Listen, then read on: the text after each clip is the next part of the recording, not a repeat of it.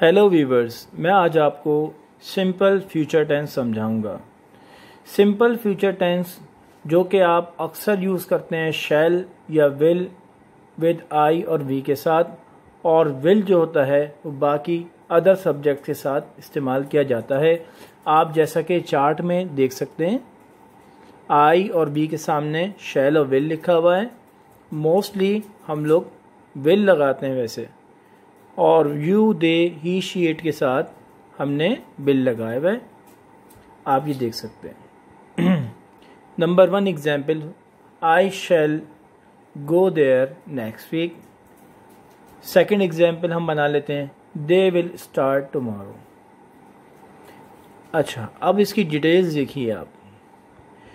इसकी most simple या basic form जो सेंटेंस की है, बुनियादी फॉर्म फ्यूचर सिंपल टेंस की, वो ये है। स्ट्रक्चर इस सामने आपके लिखा हुआ है।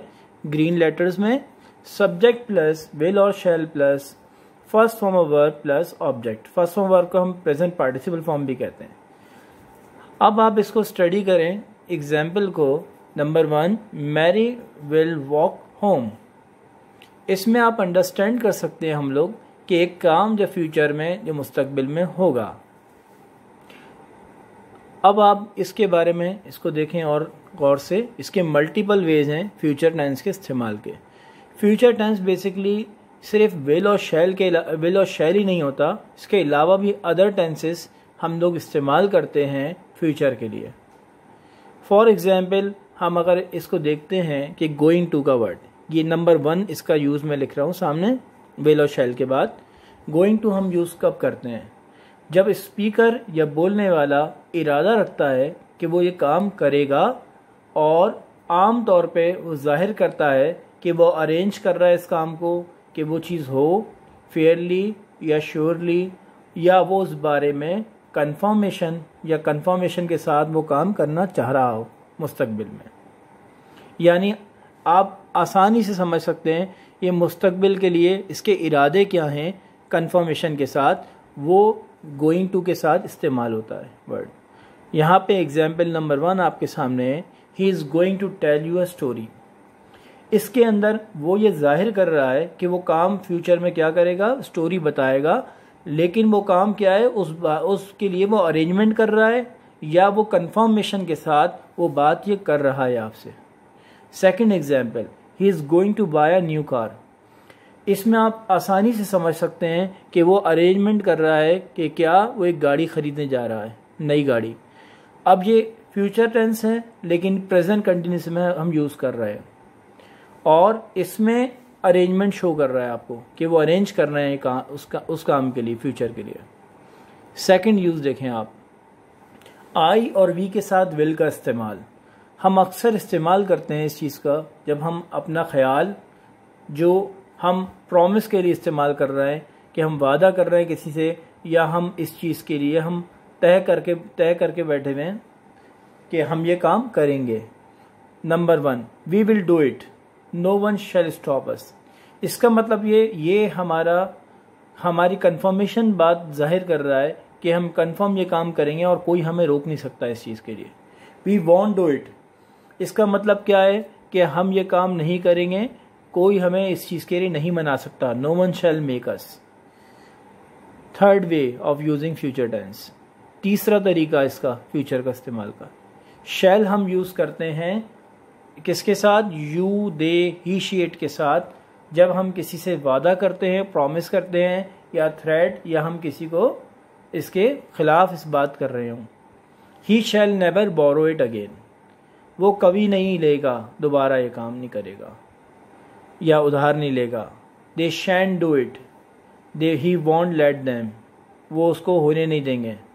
इसका मतलब ये है कि ये ज़ाहिर कर रहा है कि ये काम वो नहीं कर सकते और इसके बाद fourth way of using this shall और शैल आई शैल बी हम इसका एक और इस्तेमाल करते हैं शैल का इस्तेमाल आई और बी के साथ फ्यूचर के लिए। जब हम इस्तेमाल कर, शुरू कर रहे होते हैं, किसी को मदद करने के लिए बात कर रहे हों, या किसी को मशवरा देने के लिए हम उसे ऑफ़र दे रहे हों। शायद I bring you a glass of water help क्या मैं आपको एक गिलास पानी का दे दूँ? मदद के लिए आप पूछ रहे हैं किसी से। Shall we go home now अब इसमें हम राय ले रहे हैं, क्या हम लोग को घर चलना चाहिए अभी? Next way of using might और कुड फ्यूचर में अब माइट और कुड भी यूज़ करते हैं, ये हमें बताता है कि हम किसी बात के बारे में यकीनन बात नहीं कर रहे हों। यकीन नहीं हो हमें इस बारे में। अनश्योर है हम लोग कि शायद हम ये काम करें। तो हम माइट और कोट का यूज़ करते हैं। He might go to Islamabad वो शायद इस्लामाबाद जाएगा। इट कुड रेन सून शायद बारिश होगी जल्दी। डेफिनेटली नेक्स्ट यूज़ इसका है कि हम जब किसी बारे में मुकम्मल यकीन हो हमारा कि ये काम कंफर्म होगा तो हम डेफिनेटली यूज़ करते हैं। They are definitely going to swim वो यकीनन स्विम करेंगे नेक्स्ट यूज़ ये यूज़ मैंने आपको डिफाइन कर दी है। अब मैं चार्ट आपको बता रहा हूँ फ्यूचर का डिफरेंट फॉर्म ऑफ़ वर्ब्स के साथ कि किस तरह हम इस्तेमाल करते हैं। ये देखें आप। आपको और आसानी से समझ में आएगा। गोइंग टू हम यूज़ करते हैं। जब हमारा कोई इरादा हो he is going to spend two weeks in the US यानी उसका इरादा क्या है? वो दो हफ़्ते यूएसए में गुजारेगा अपनी छुट्टियों के फॉर एग्ज़ाम्पल इसका एक इरादा है। Will I will be free for most of the summer ये न्यूट्रल फ्यूचर वे है कि मैं ज़्यादातर समर में free हूँगा present continuous tense for the future ये अरेंजमेंट के लिए है। जैसा कि उसने क्या इरादा किया है, क्या अरेंजमेंट किया उसने? ही स्टार्टिंग वर्क इन सितंबर तो वो उसके लिए अरेंजमेंट करेगा सारा, कि वो काम करने जा रहा है, शुरू करने जा रहा है सितंबर के अंदर। Present simple for the future ये टाइम टेबल को शो कर रहा है। किस तरह? She finishes college at the same time for example वो अपना कॉलेज मुकम्मल करना जा करने जा रही है उसी टाइम पर, जिस टाइम पर फॉर एग्ज़ाम्पल उसका दोस्त का भी कंप्लीट होने जा रहा है college will be doing they will be leaving in June वो रवाना होंगे जून के अंदर। ये क्या है? ये इवेंट है। In the course of event ये कि एक इवेंट होने, के लिए वो रवाना होने वाले हैं। अफर्मेटिव सेंटेंस की एग्जाम्पल्स आप देख सकते हैं आपके सामने विल के साथ। That Aaron will complete her first novel this October. He will run for brother. They will bake the pies. He will arrive in the evening. ये सारे सिंपल वेज हैं आप यूज़ कर सकते हैं विल के साथ बाकी सारे सब्जेक्ट्स को next example using going to going to के साथ भी आप फ्यूचर टेंस बनाते हैं बेसिकली है तो प्रेजेंट कंटिन्यूस टेंस है, लेकिन ये फ्यूचर के लिए इस्तेमाल हो रहा है he is going to win this race कि वो ये रेस जीतेगा। He is going to move to Europe वो यूरोप जा यूरोप मूव करने वाला है। He is going to run home वो घर जाने वाला है, या घर जा रहा है। They are going to bake a pie वो बेक करेंगे पाए को बनाएँगे।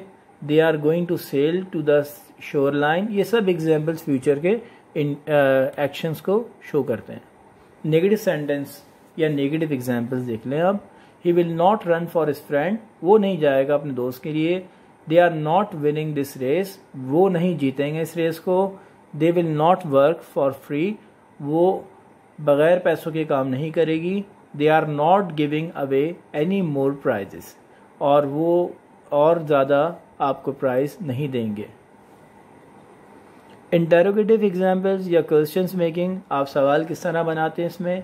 विल और शैल पहली फ़र्स्ट पोजीशन पे आ जाता है. और क्वेश्चन माँ का आपको फाइनल में लिखना होता है। लेकिन इसमें हम लोग इज़ गोइंग टू भी यूज़ करते हैं इज़ बी आर बी और एम भी स्टार्टिंग में यूज़ कर सकते हैं, क्योंकि फ्यूचर सिंपल टेंस सिर्फ़ एक टेंस से नहीं, बहुत सारे सेंटेंस से बनता है। Will she complete her novel this October question mark are you going to move to Europe question mark will the dog come with you question mark are you excited to travel again question mark ये तमाम जो आपको show कर रहे हैं future के interrogative sentence की examples हैं।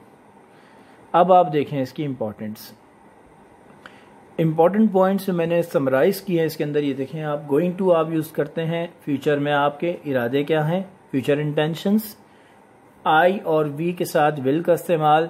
आपका डिटर्मिनेशन या प्रॉमिस को, आपके वादे को, आपके इरादों को शो करता है। शेल आपके प्रॉमिस या थ्रेट को शो करता है, लेकिन किसके साथ? You they he she it के साथ। शेल आई और शेल वी आप जब भी ऑफ़र किसी को कर रहे हो मदद के लिए या किसी को राय देने के लिए या राय लेने के लिए तो आप शेल आई या शेल वी का यूज़ करते हैं। माइट और कुड हम यूज़ करते हैं जब हम किसी चीज़ के बारे में अनश्योर हों डाउटफुल हों। यानी हमें यकीन ना हो किसी बारे में। डेफिनेटली हम यूज़ करते हैं फ्यूचर में, जब हम किसी बारे में मुकम्मल यकीन रखते हों, जब हमारे पास किसी चीज़ के अंदर डाउट ना हो having no doubt in anything so हम श्योर का वर्ड यूज़ करते हैं। ये आज का लेक्चर मैं कंप्लीट करता हूँ।